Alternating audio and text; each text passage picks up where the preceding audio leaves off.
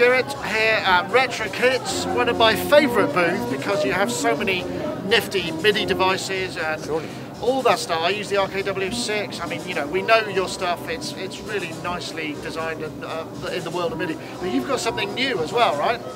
Yeah, we we have a new uh, thing now. Like, uh, of course, the, last year was the, the year of the six, which we had to do, uh, yeah, like on online. But now we can go back to live with the uh, RK008, which is actually a sort of a basic.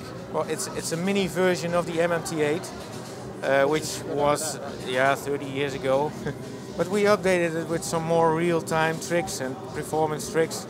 So. Uh, yeah, it has eight tracks you can uh, fill up with with 16 channels of MIDI. Each channel, uh, each track can hold uh, every channel of MIDI, and whatever you record into it, it will also play back. So also pitch bend, uh, control changes, program changes, whatever. So it's like a, like a mobile sketchpad uh, to make music. You can uh, you have two MIDI inputs, two MIDI outputs, and a gate output, so you can connect all kinds of stuff to it and it also connects with our RK6.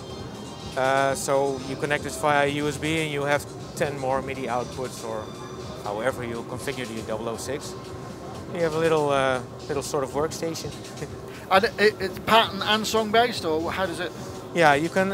It, it's all how you like to play. You could choose to uh, just ignore the pattern length. It's like it has like uh, a song. Songs made up of parts, and parts are made of the tracks.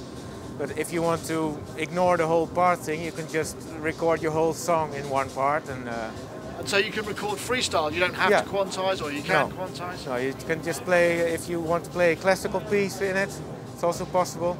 You just don't set a length and you play away.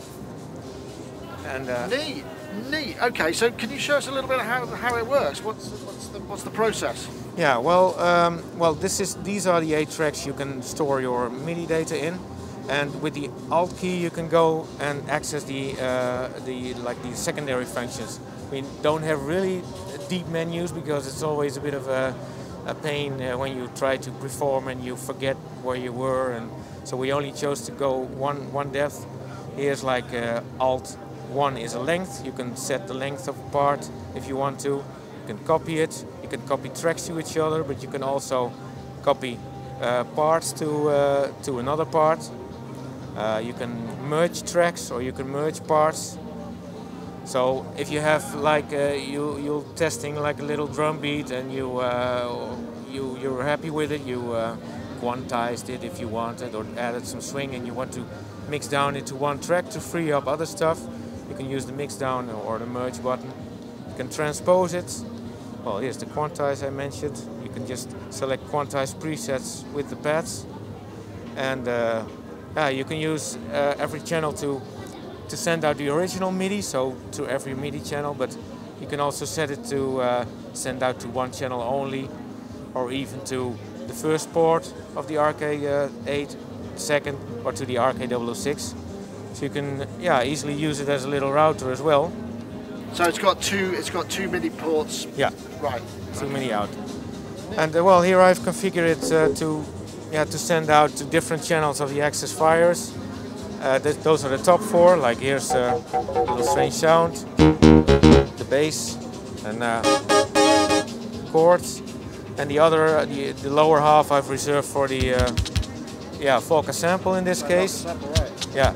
And well, now it's actually powering the RK002, and that one does the MIDI modification so we can use velocity on the uh, sample and stuff. So yeah, it sort of integrates with all the other stuff we made as well. It's uh, the, the colours of those buttons are fantastic. How did you get them so vivid? It's like that red is so red and the green is so green. Yeah, well, it, it takes some uh, some overview. we had we had this made, but uh, yeah, luckily we had good communication with the people who painted it for us, and we were very happy. Oh, it's lovely. Yeah. So, so you can record up to eight tracks, and then you can mix down the tracks. So it's essentially yeah. like a mini multi-track. Yeah. Like we say, based on the MMT. I mean, and simple and easy to use.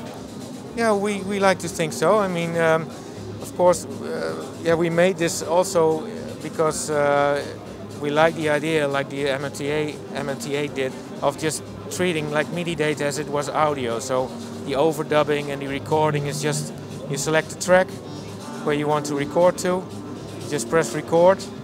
Well, and then I'll just add a count in, and then you can start playing away.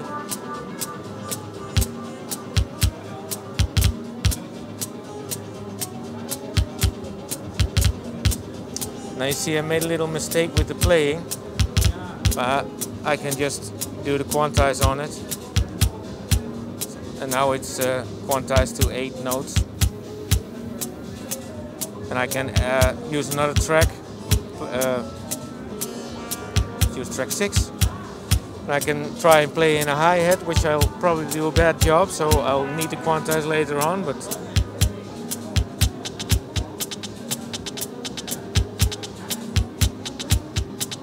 It's Not bad, not Okay. bad, pretty good. We'll keep it then. But uh, just to be sure, I'll use the 16 quantize.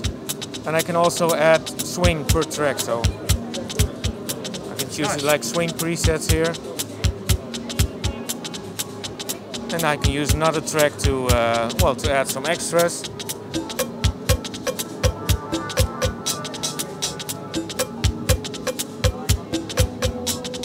I feel like Whitney's going to sing in a minute. yeah. Wait, I saw it just now. Oh no. um, well, record this too, and now I can uh, start on uh, on a bass line, for example. Yeah, well.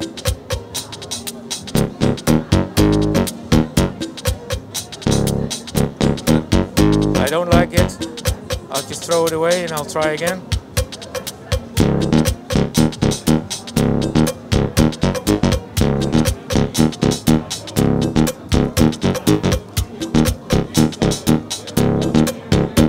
And can you record controller movements and whatnot as Yeah. well? Well, this bass, I have a dial uh, set to the uh, brightness. So if I want to add this to this recording, I just overdub the controller on it.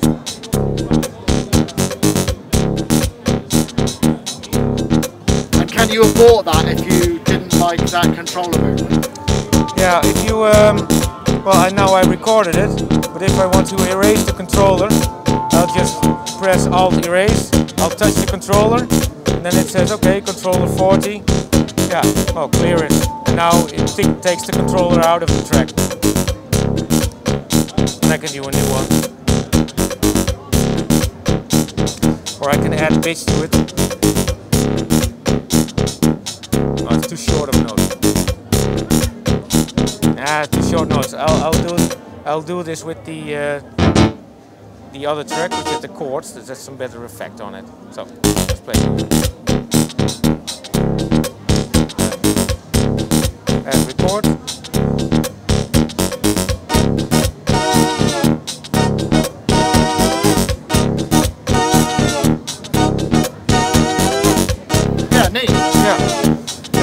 Can also I can also solo pass by pressing it longer.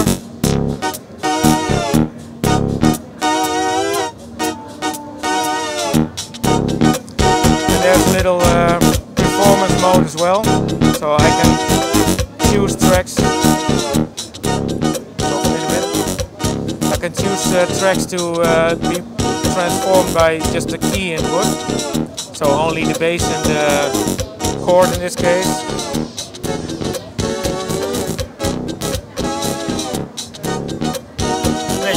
Yeah.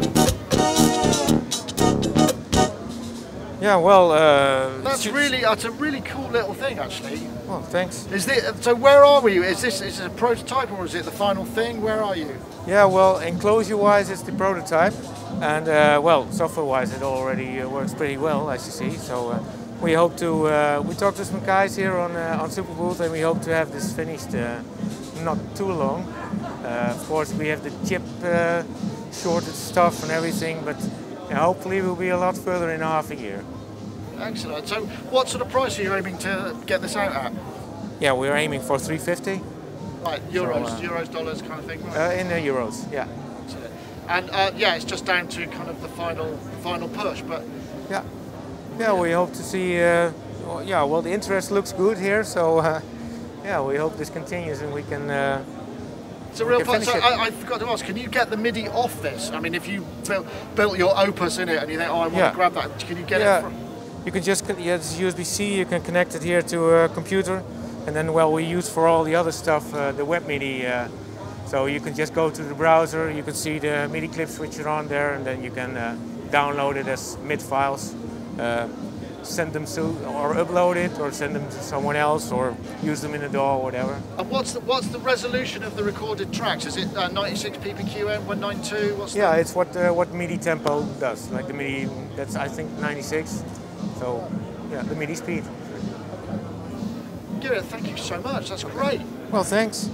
it's good to be. It's nice to show it. We've worked a long time on it, so it's good to have it out in the open now.